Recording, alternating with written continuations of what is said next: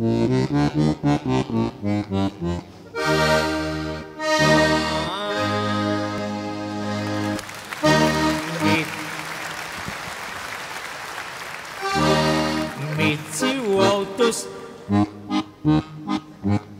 Tako naredi, da se bomo basi čuli, no, Madonna.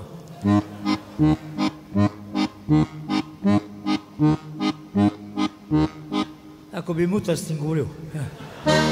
Mici v avtu skače, ne špara svoje frače, joj, če bi jo dobil, moj pipi nagajil. Mici v avtu skače, ne špara svoje frače, joj, če bi jo dobil,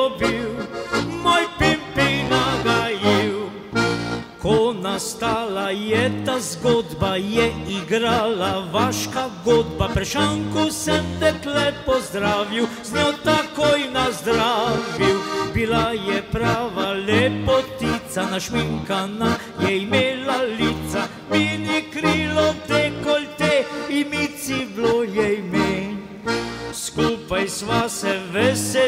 veselila, v avtu nas skrivaj dobila. Preden poravnal sem zic, mi je odprla šlic.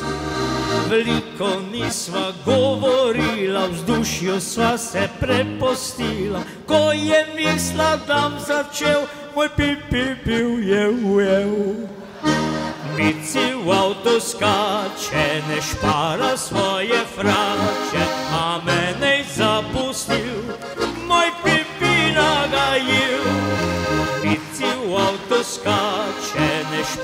svoje frače, a mene je zapustil, moj pipi nagajil. Zdaj imam veliko dramo, mici dela mi reklamo, a vsega tega je kriv, moj pipi nagajil. V mladosti sem tak frače pilo, da včasih sem se sam seb smilo, zdaj je le spomin, ker vse je enkrat hin. Če lahko na nebu luna mrkne, ni čudno, da tudi pimpi crkne, nima smisla klet, tak je pač ta svet.